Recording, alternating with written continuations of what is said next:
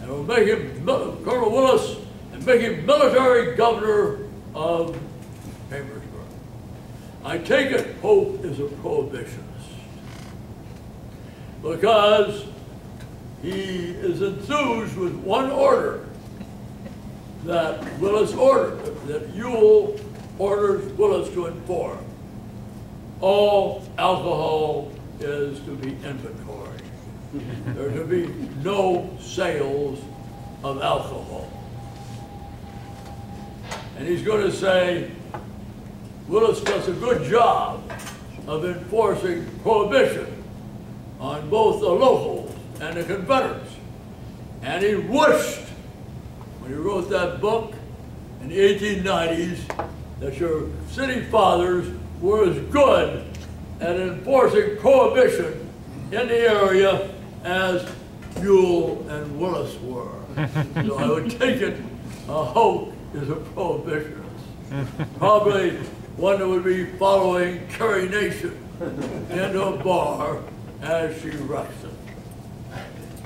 So, so they're going to requisition. Then Hill, General Hill will arrive on the 26th. And an hour later, Hoke is standing there when who arrives? Ro- Robert E. Lee. And he stands there and watches as Hill and Lee converse on the 26th, not the 25th, in the, on the diamond. Now, Hoke, you always build yourself up when you write your reminiscence. As he's watching, he sees Lee and Hill walking. Sees Hill, Hill lift his hat over his head, and he notices that Lee takes a turn to the east, looking east on that road that is a national road and goes to Gettysburg. And he will go to Mr. Hoover, who knows the roads well, and tells Hoover, I think by Lee's just, by actions, they're going east when they leave here. Toward Gettysburg. Hoover will make a Paul Revere ride to both by horseback and train, and arrives in, in, in Harrisburg and tells. So that's a lead that Lee is going east. That's very good news to General Couch, who is in command of the troops at Harrisburg. So you have two Union Corps here. One is not here. And uh, Lee is going to issue orders on the 26th. He's going to draft them in Messersmith's Grove. That's on the east side of town. Closer to town than the bypass. And the orders are that General Ewell is going to the- do the next move. General Ewell will take his men and he will accompany General Rodes and General Johnston, Allegheny Johnson divisions, and they'll leave here en, en route to Shippensburg, the first stop on their way to Carlisle, where they will start for on the 26th. And General Ewell, General Early with his division starts on the road to Gettysburg, en route to York. And he's a gentleman that will make sure and make a worse enemy of the South than he'd been heretofore, of Thad Stevens. Because when he gets there, Stevens' foreman says, we don't make any money here. At the Ca- Caledonia Furnace, we give employment to poor people in the work. Or he'll say, I never heard of a Yankee in my life that would do such a thing. Because they're interested in profit, not social, social services. And they pursue to burn everything that's burnable at the Caledonia furnace, except the blacksmith shop. And by nightfall, Early's men have routed the 26th Pennsylvania militia and of occupied Gettysburg. During the next, now, by the 28th, we have where the Confederates. The Confederates are as follows. General A.P. Hill, with his corps, is camped to the east of Chambersburg. In the Chambersburg area are two of Longstreet's divisions. The division of McLaws and the division of, uh, of, of uh, General Hood. Pickett's division has not arrived yet. Now, the, uh, we have General Early by this time is in York with his advanced division brigade at Columbia. We have uh, Early, uh, uh, Rodes, Ewell, and uh, Johnson near Carlisle, and near Fort Hill, we have uh, uh, the, we have the Hills, uh, Ewell's, cavalry, commanded by Jenkins. Now Lee is sleeping well on the night of the 26th. He doesn't know where Jeb Stuart is. Jeb Stuart, on the 25th day of June, had got, used discretionary orders to ride, a- to ride, to to seek to ride around the Union Army for a third time. Do a repeat of what he had done when he rode around McClellan at the gates of Richmond in the period from the 12th uh, to the 15th of, of, of June of 62, and when he rode around McClellan the second time between the 12th and the 14th of October. And he will take his army, his corps northward with the admonition that if the Union Army crosses the Potomac River, he is to let Lee know immediately. Stuart will make a long detour when he has to bypass the Union Army as it moves north to the Poto- toward the Potomac River, uh, the Potomac River.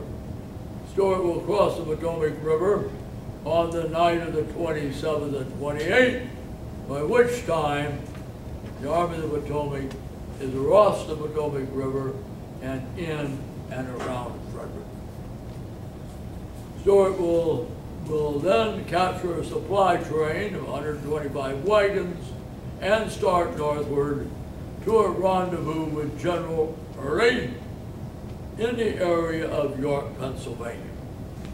To Lee, everything is going well. Arriving here, again, pointing out how important Chambersburg and uh, Franklin County are. Lee is retired for the night to his headquarters wagon in Messersmith's Grove when Henry George Henry, uh, George Thomas Herring Harrison shows up at Longstreet's headquarters.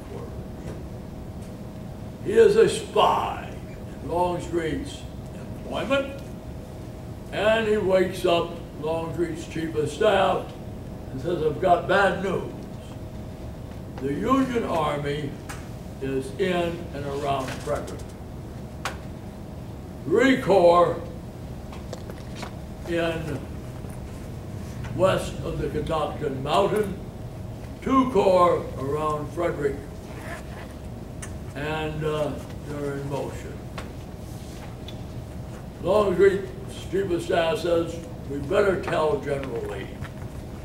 So they'll escort Harrison into Lee's headquarters, wake Lee up. Like he'll be guided by Major Fairfax of, of Longstreet's staff, and he'll inform Lee that the Union Army is north of the Potomac River. The first news that Lee has received is Lee is shocked to find out. He's also concerned because he hasn't heard anything from General Stuart. On the 28th, Stuart had crossed the Potomac River, and by noon on the 28th, he had started northward from Rock, Rock, Rockville, Maryland, to a rendezvous with Early someplace in Pennsylvania. So Lee is confronted with a, a big problem. It is the Union Army is across the Potomac River in Frederick County, and his army is scattered, using a colloquial expression, from hell to Peru. From York and Columbia to, to Carlisle to Hagerstown, uh, to Chambersburg, to Martinsburg. So Lee on the morning of the 28th will issue an important order, and that is that the Army is to concentrate. And they're to concentrate on Cashtown Gap. That gap eight miles west of Gettysburg and, and about, uh, about 13 miles east of where we are. So the die has been cast. And the great battle will take place at Gettysburg. The last troops to pass through Chambersburg, going to Gettysburg, will be General Pickett's division on the morning of the 12th, on the morning of the uh, second day of July. So during this crucial period, Chambersburg and Franklin County, and is the basic staging area and the places where Lee is making critical decisions which will have a great effect on him in the Battle of Gettysburg. Chambersburg has felt the hard hand of war.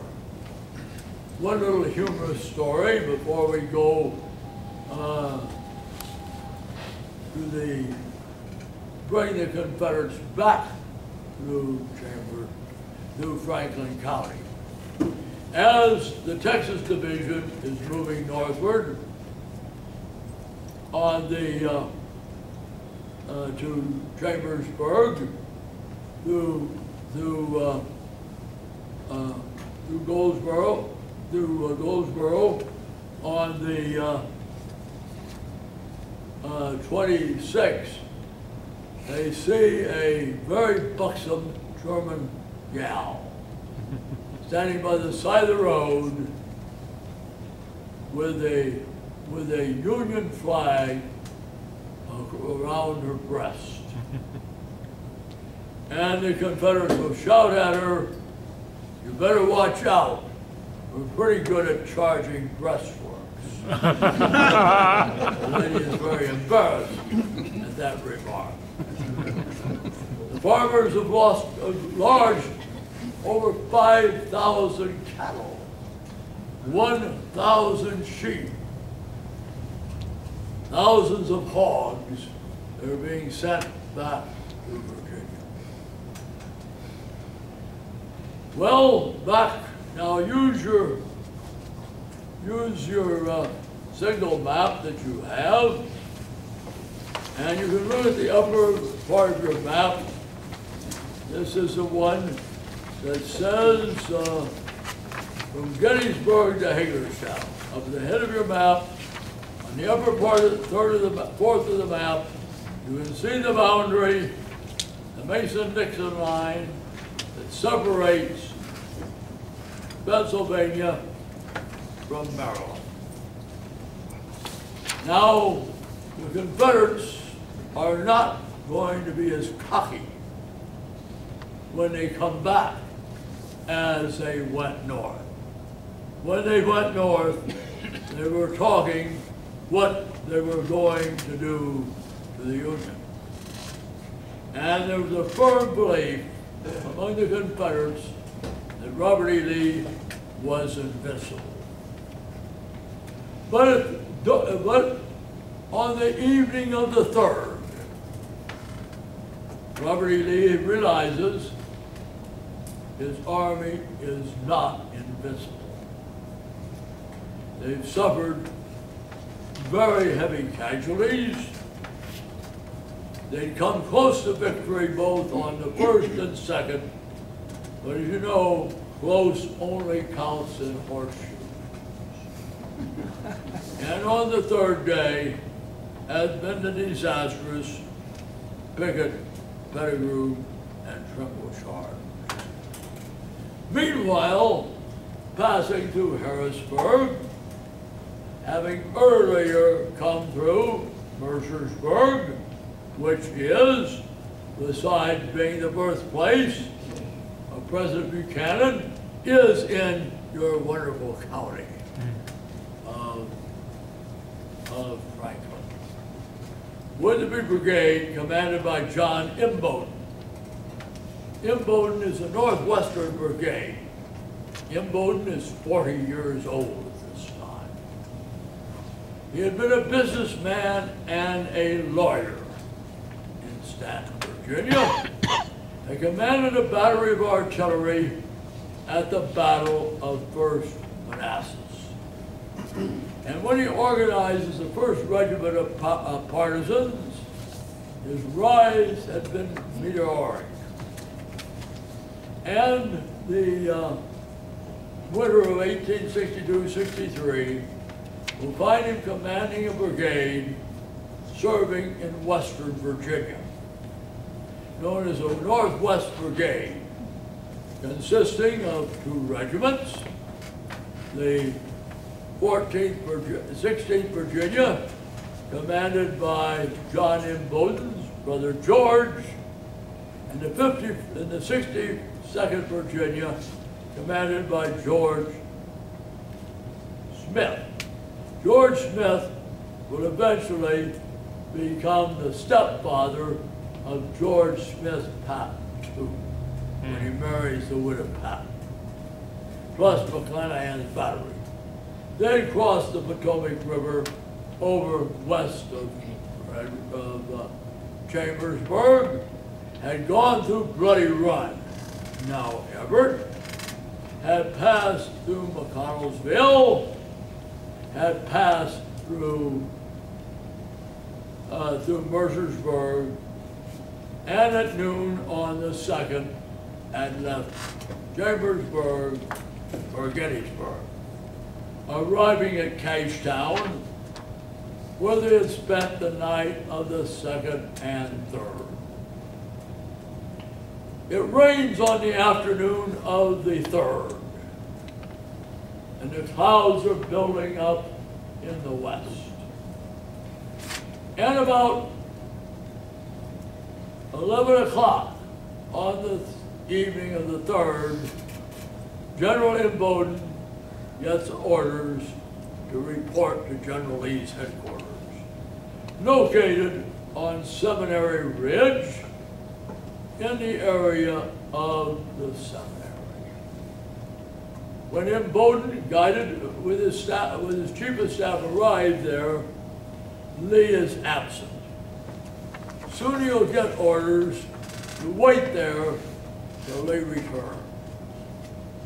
Lee returns at midnight and his orders to Imboden, since Imboden's brigade had not been engaged as yet, was to take charge of an immense wagon train of, of ambulances and wagons carrying the Confederate wounded, those who were not, uh, who were not too badly wounded that they cannot be moved. And he will take them, see that they're loaded from the central collection area at, at Cashtown Gap, coming from the field hospitals, and then escort them by the way of Chambersburg back to where they crossed the river at, at Williamsport.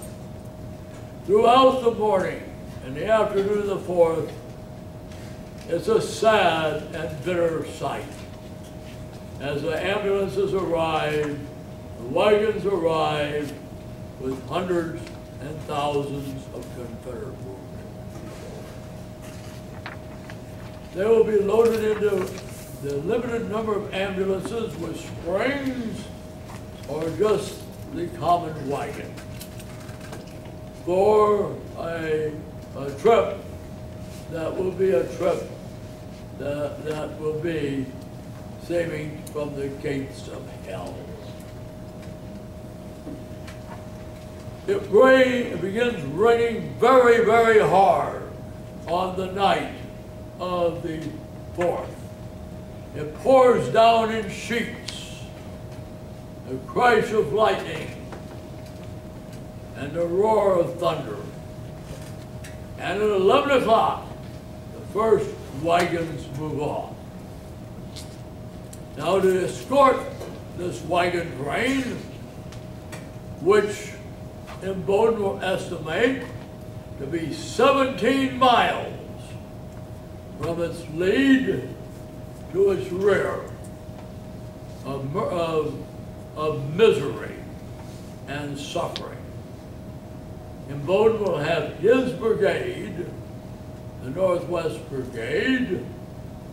He will have Fitz Lee's four Virginia regiments, and he'll have Lawrence Baker commanding Wade Hampton's brigade of two South Carolina regiments, one North Carolina regiment, and two legions. You will have the six guns of McClanahan's battery, plus another 18 guns to guard them. And this, and they move out. Now the Chambersburg, the National Road is a macadamized road, gravel road.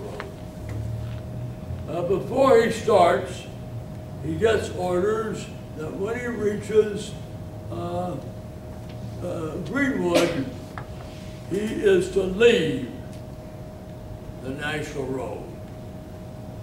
Reports have arrived that Couch has sent men from Harrisburg and Shippensburg and has occupied Chambersburg.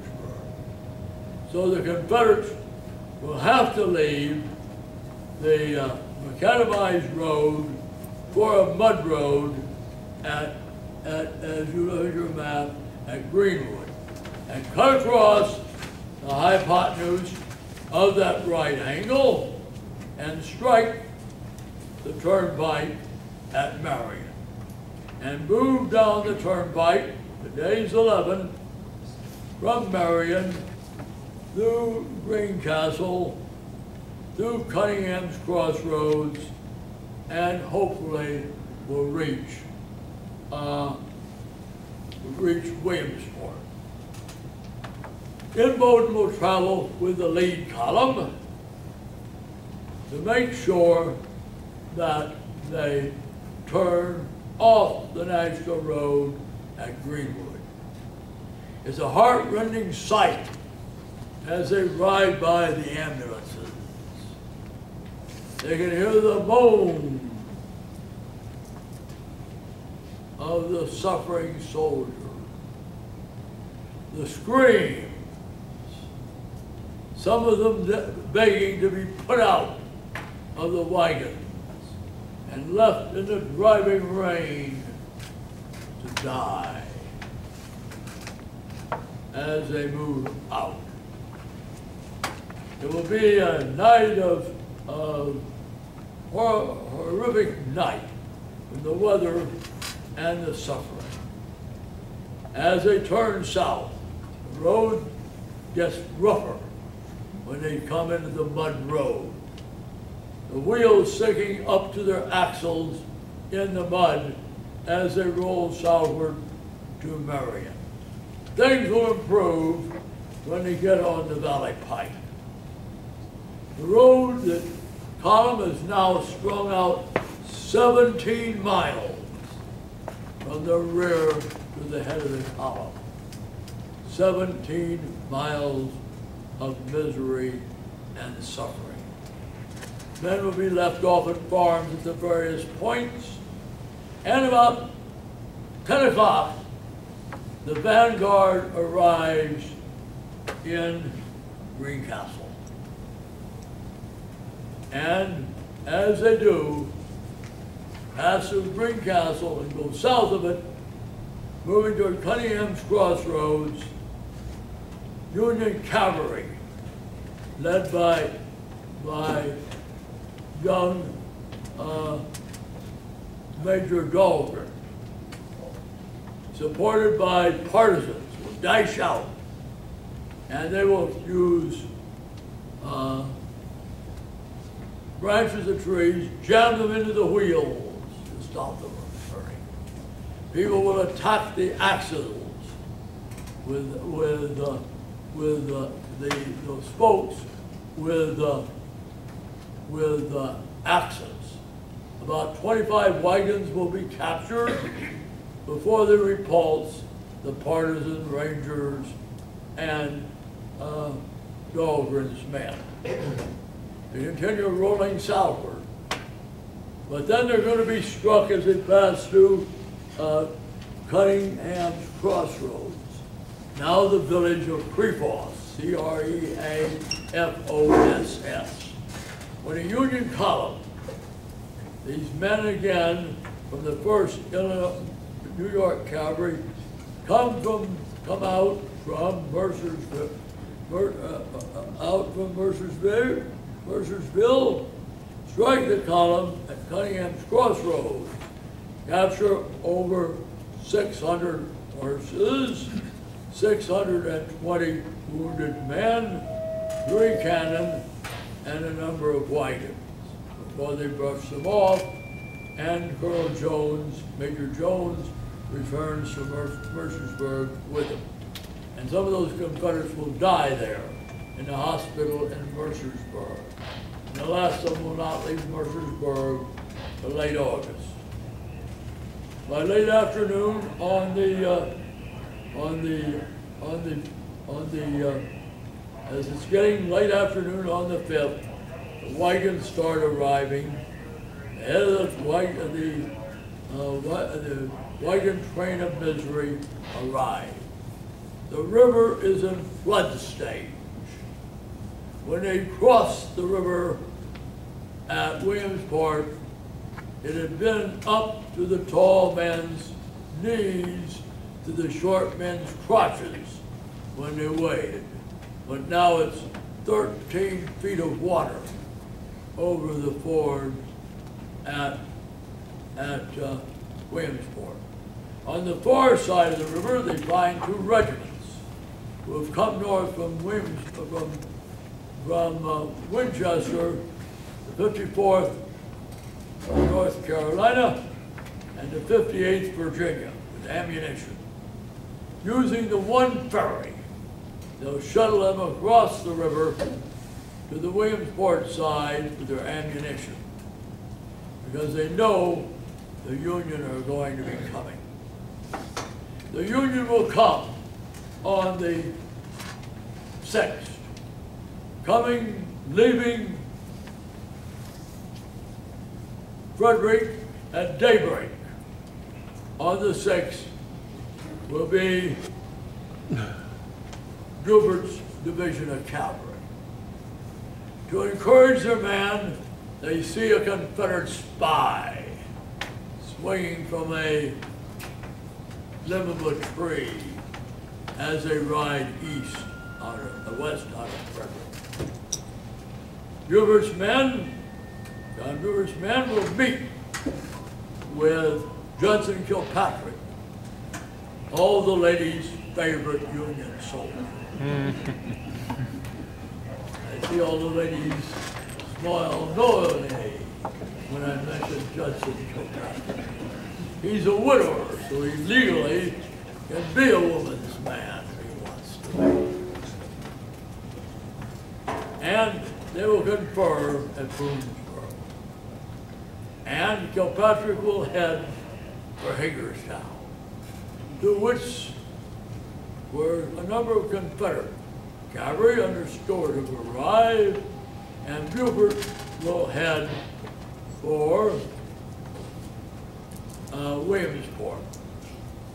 On the 6th, the Confederates hold the Union at bay at Hagerstown, and when Joe Kilpatrick, with Custer in the lead, joins Buford at Williamsport, he's held at bay, and the Confederates will eventually escape across the uh, river when the water begins to fall.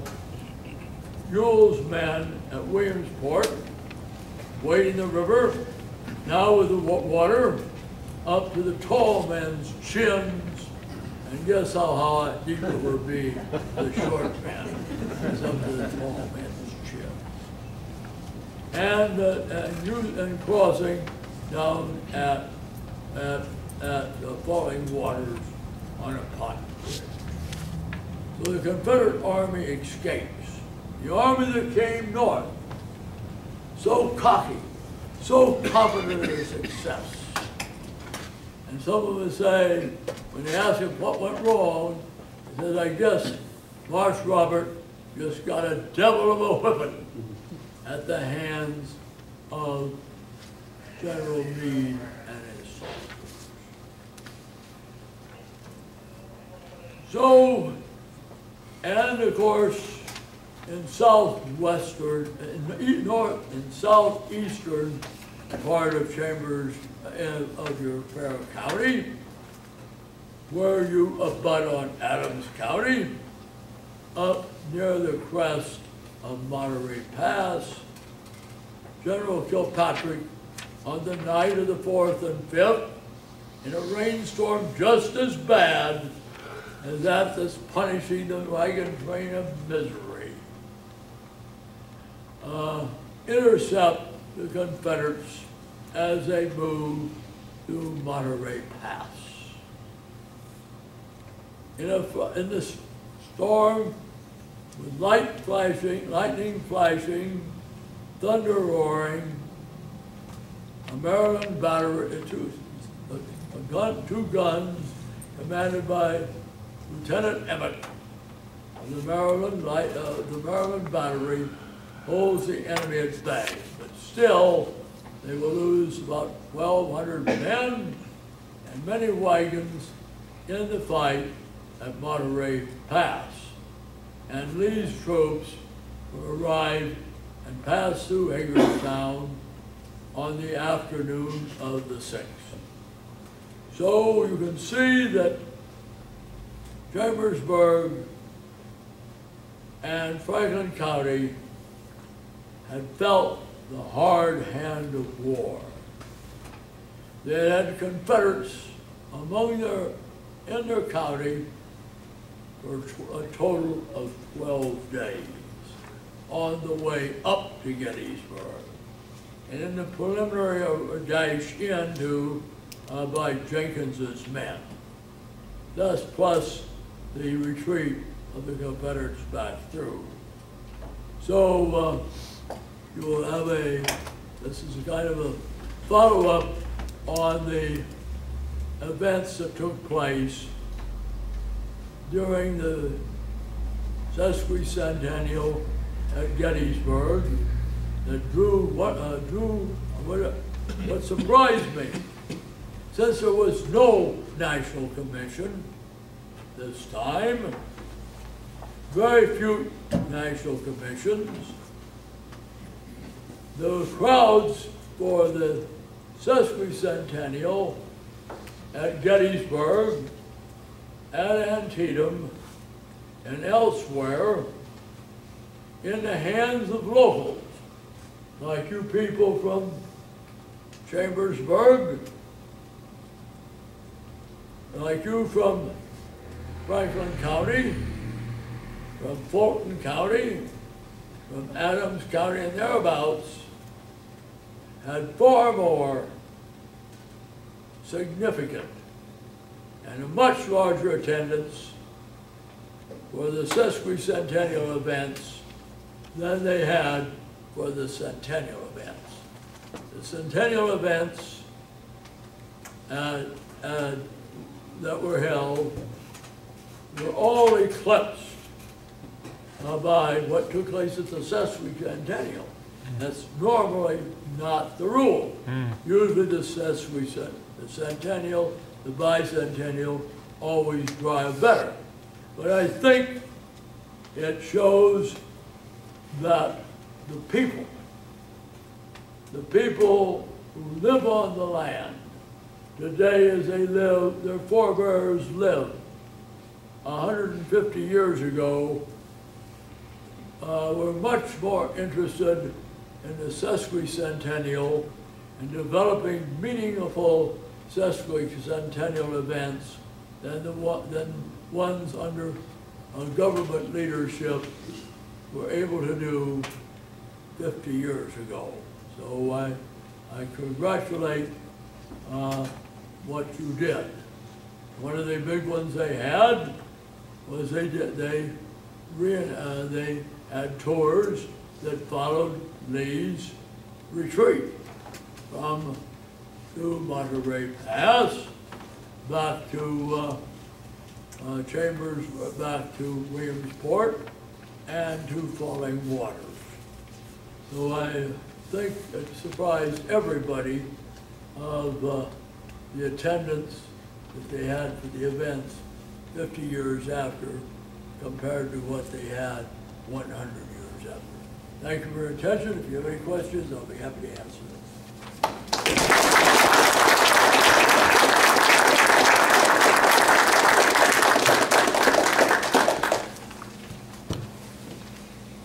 Yes. Ed, you said about them sending cattle, second, come here, yeah. Yes. you said about them sending, the Confederates sending cattle and livestock and so forth back to the south. Did they that? have, you said about them sent, the Confederates were sending livestock and cattle and things back to the south. Did they do that on a regular basis or, or they waited until they All right. left or what? In the period, Imboden crosses, uh, Imboden is doing it from the, as is, uh, is, uh, uh, Jenkins, Jenkins is doing it when he here on the fifteenth, sixteenth, and seventeenth. He's sending livestock back. The same way as Jenkins works his way, as, uh, Imboden works his way across, uh, southern Pennsylvania from Bedford, uh, to, uh, uh, to Mercersburg, uh, stopping at, at, over in Fulton County on the way. They do it. They also take large herds with them when they're retreating. So, which is a big, gives a lot of problems to the Confederates if they're driving five thousand cattle. Think of Grandpa and dozen men are driving hogs. They don't drive worth a damn. So they'll be sending them to all, till Lee pulls out of the area. And uh, in, in that way, Lee will accomplish one of the objectives, is transferred supplying commissary stores, which are what you eat, from the hard-hit Virginia countryside and is subsisting his army and going back with a surplus into Virginia after the figure of the campaign. So that's a, that's a, and I'm not saying that's a, that's a plus. That's not as important as if he'd won the battle. But it's a, it's something you can talk about, not make it as bad as it was. And So they, they were doing it, at the same time, they were hunting down blacks the whole time. Now, the Lee never sanctions it, but it's done without Lee's orders, but it's something endemic uh, to the uh, Confederate psyche, that they see this, as they see blacks as property that have fled up here, even if they have been born here, they're going back and be sold.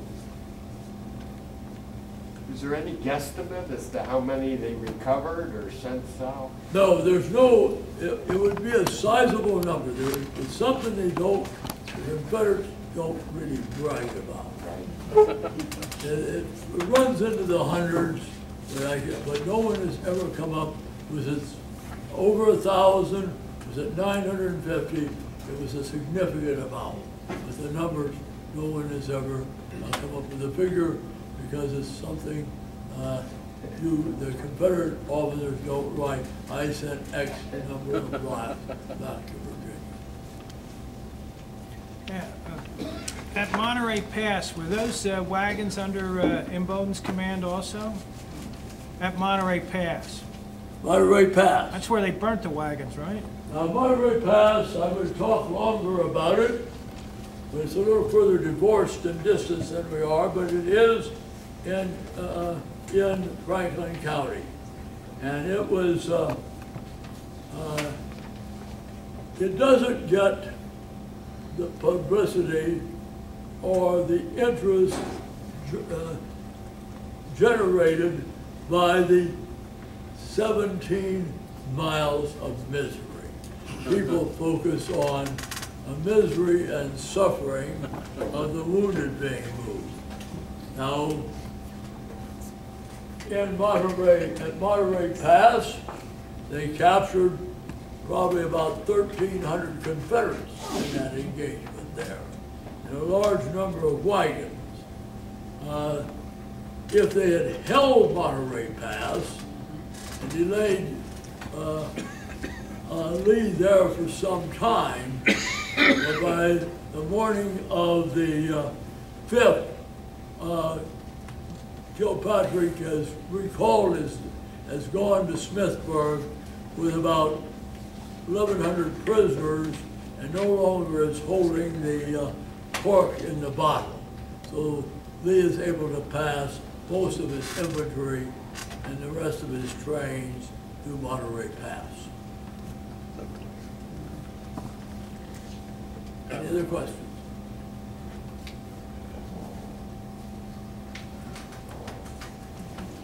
At Monterey Pass, like I think Custer was there, Yes.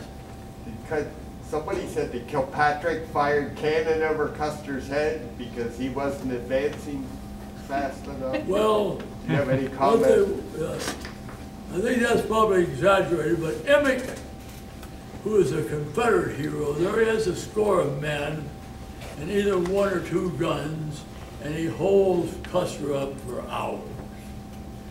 So finally, when they have got enough purchase and can bring their guns of Penningtons up on the same level, uh, with Emack's, they're going to uh, then have numbers on their side. And that, with that, they will, uh, uh, the Confederates will pull back, and then they'll uh, run a number of wagons off that road, tumbling down in there, rolling down, and, uh, uh, and Kilpatrick will pull his cork out of the bottle and go down to Smithburg. And then he goes on to Boonesboro, and that opens the route uh, for Lee and his, and the most of his army, uh, and, and except for the wounded train to get through to uh, uh, Hagerstown the sixth.